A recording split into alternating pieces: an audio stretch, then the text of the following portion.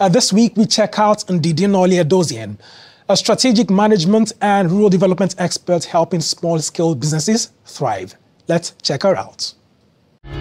It's only in accepting ourselves, our vulnerability, and our flaws, and building from those that we can truly aspire to be authentic and real. Hi, my name is Dr. Ndidi Nnoli Edozien.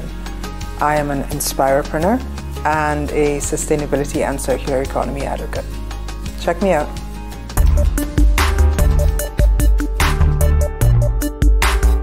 I went to the London School of Economics and Political Science and I applied for philosophy and economics and then expanded that to incorporate development economics and um, international relations. I went on and, and studied ethics, um, did a diploma in, in business ethics and sustainable economic development, and then eventually wrote a PhD in what is my passion today, which is sustainability with culture at the center. I'm the founder of Growing Businesses Foundation that was created 22 years ago, and more recently, the Rising Tide Africa, which was about women investing in other women owned and women empowering organizations. It's not enough to ensure that those people who have jobs are able to maintain their standard of living after they retire.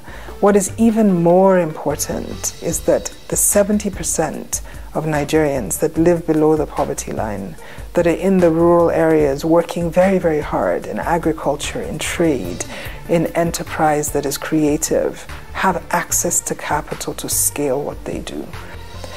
The Growing Businesses Foundation doesn't just work with women. So, on one particular project, we have 6,000 women who are doing $10 million in revenue across 17 states. $10 million annually on loan sums that are between 25,000 naira and 45,000 naira. Sometimes they're churning revenues of 50 to 100 million naira through sheer hard work. And they're diligently making money, which they use to send their kids to school, to keep roofs over their heads and, and feed their households. My name is Dr. Ndidi Nnoli Edozien. I'm an inspirepreneur. I'm a sustainability and circularity advocate, and you just check me out